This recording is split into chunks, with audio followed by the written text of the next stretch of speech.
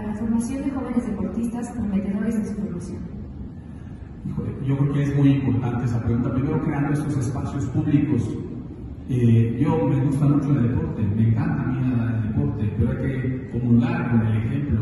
¿sí? Me iba a correr con los cadetes de la policía 5 kilómetros, después sí el ejemplo que voy a correr a, ahorita en campaña en diferentes regiones del estado. Y saben que todos los espacios públicos, todos Tehuacán, Acatlán, Huachinango, Chinahuapan, Jicotepec, en todos lados están en pésimas condiciones. En Puebla remodelamos 100 espacios públicos, en Puebla hay canchas de padel gratis, ¿sí? construimos más de tres canchas de padel gratis.